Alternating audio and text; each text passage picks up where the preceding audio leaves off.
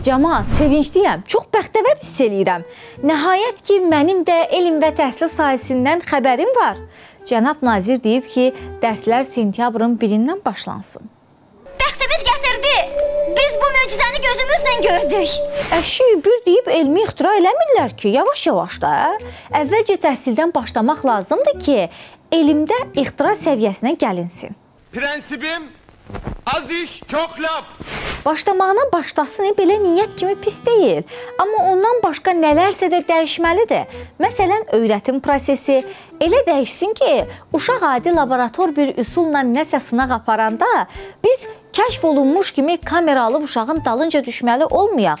Yəni ki, dərslərdə lablar, sınaqlar adi hal alsın. Yoxsa məktəbdə laboratoriyanın, universitetdə liftin açarı direktorun cibində davam eləyəcəksə, məktəbləri bağlasalar da olar. Onsuz da elə bir filankəsin uşağı yoxdur ki, hazırlıqsız universitetə girsin. Ne anlatıyor bu? Vallahi gayet iyi anlatıyor. Hələ onu demirəm ki, 300 bal yığan 9-cu sinif şagirdini qabağa verib pəhpəhlə ondan danışırıq. Vallah, ağlın başında sevindiyin şeyin mahiyyətinə baxanda adamın üzü qızarır. Abalam, bu uşağın işi oxumaq, o balı yığmaqdır da. Cemaat! Cemaat! Bütün millətlər istəyirlər ki, Abrazavani tapsınlar. Elə bil nəsə ixtira eləyib. Hələ bir uşağın da boynuna qoyuruq ki, repetitorsuz verib imtahanı. Hər nəysə, yenə də uşağa afərin. Vallah, məni qınamayın, amma heç inanmağım gəlmir ki, adi məktəb dərsliyi ilə imtahanda kimsə 300 bal yığsın. İndi sizə bir sual göstərəcəm. Sizdə də olan qalan inam itəcək.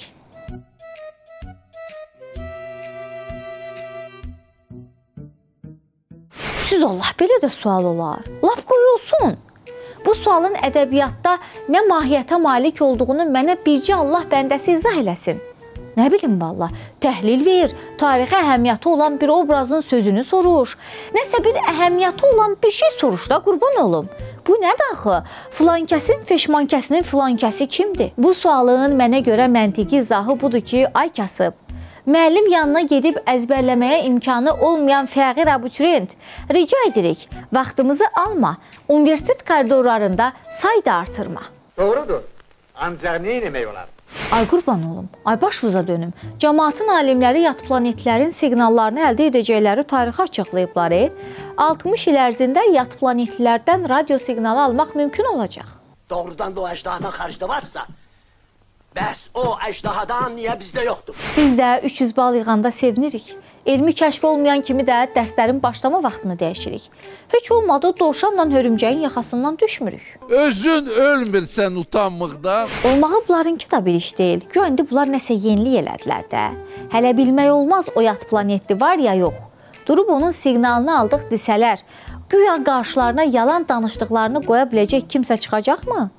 Deyirlər də, bəlkə də eləcə havadan danışırlar. Qorxuram ki, bu yad planetlilər varsa da belə boş alimlərin ucbatından planetimizi işğal eləyəcəklər. Özü də siz qorxun ki, işğal-mişğal fikrinə düşsələr, o da bizim dövrümüzdə olsun. Nəsə hər şey gördük, görmədiyimiz bir olar qalıb. Deyirəm, heç olmasa gəlsələr, qalib olsaydılar, mağıl tarilkada zadda da uçardıq. Çox zilə çıxma. Milli Yaylaq Festivalının ərazisində əxlaqsızlıq yuvası da açdıq. Əraziyə gözətçi qoyulan 63 yaşlı adam çadırları kirayə verirmiş. 2 saatlıq icarəsi üçün 41 manat ödəmək lazım imiş. Düz iştalıcan düşmek haramdır. Bu boyda xəbərdə məni nə 63 yaşında kişinin pul üçün əl atdığı yol, nə də hansı qurum hara baxır fikri qətiyyən narahat eləmir. Bircə sual bütün gün beynimi işğal eləyib. Bu ödənişi niyə 41 eləyəsən ki? 1 manat orada nədir? Parkovka pulu, yoxsa rüsum kimi görünsün, inandırıcı olsun deyə qoyulan rəqəm? Hələ çox şey mənə aydın deyil. Yox, e, bax onsuz da ayda 400-500 alırsan da. Dağın başıdır. Sən burada nə pul xərcləyəcəksən ki, 41 manata görə başı bəlaya da salırsan. Amma mənim bu olmayan ağlıma o da gəlir ki, bəlkə bu 2020-dəki biabırçı təşkilatçılığı unutdurub təşkilatçılara yenidən hamını yaylağa həvəsləndirməyin yolunu öyrətməyə çalışırmış. 3 il sonra Yaponiyada maska taxmaq tövsiyəsi ləğv olunub. Maskasız dövrdə yaşlıların yenidən gülümsəməyi öyrənməsinə kömək eləmək üçün də seminarlar keçirirlər. Bu insanlar da bizim müasirlərimiz, El oğlanlarımızdır. Avalam, nə oldu? Nə tez yaddan çıxartdınız? Ha, biz heç sərhədləri açmamışıq, amma yenə də gülürük. Lap belə şaqqanaq çəkirik. Siz nə tər olur ki, 2 gündə maska taxdınız deyə gülmək yaddan çıxdı? Riskənd eləmə bala. Riskənd eləmə. Dünyadır da. Allah haqqı findifruş işlər üçün ölürlər də. Özlərini iş axtarırlar. Lap tut halım ki, yaddan çıxartdınız. Pozitiv olmaq, gülümsəmək bu qədərmi vacibdir? Gülə bilmirsən, zəhrimar sifəti al, gəz. A. Bəlkə bu son vaxtlar bizim də özümüzdə yaranan bu zəhrimar sifətinin səbəbi elə bu imiş. Yaponlar da təmiz başımızı xarab eləyib. Elə bil bunlar bu planetdə yaşamırlar. Yox bir gülmək üçün universitet zad da açın. Siguş da deyir ki, tək yaponlar olsa dərd yarıdır. Son vaxtlar nəsə ABŞ-dakılar da özlərini qəribə aparır. Deyirəm axı nə olub da?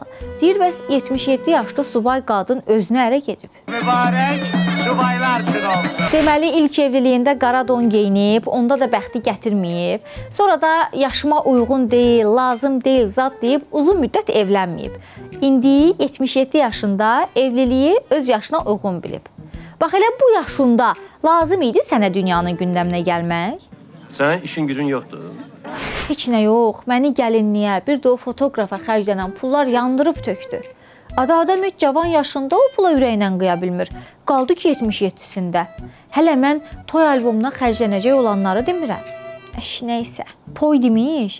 Eşitdiyimə görə restoranların, şadlıq evlərinin sahibləri güləygüzar eləyirlər ki, bəs day toylar sərf eləmir.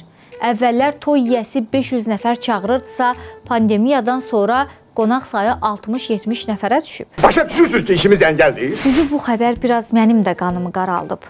Deyirəm, yəni yaponlar gülməyi unudan təhər biz də öz adət-ənənələrimizi mi unutmuşuq? Əşi adəti də keçdim. O ki toya atılan pul 5 manat da artıq gəlsin deyə universitet vaxtı təsadüfən salam verdiyin hansısa patok yoldaşını da toya çağırmadın. O toydan nə ləzzət almaq olar? Bəs o xalaların, onların gəlinlərinə aldıqları qızılların nə əhəmiyyəti qaldı? 70 nəfərə də qızıl tros göstərərlər. Təsvir elə. Çok sağ ol Toxam yemişəm. O ki o trosu boynuna salıb o 500 nəfərin içində elədən belə, belədən elə məhkəmə suratı alıb bir yellənmədin. Hamı da filankəsin gəlininin qızılından danışmadı. O toyun nə əhəmiyyəti? Hər nəysə, özünüzü düz aparın. Gözüm üstü üzdədir.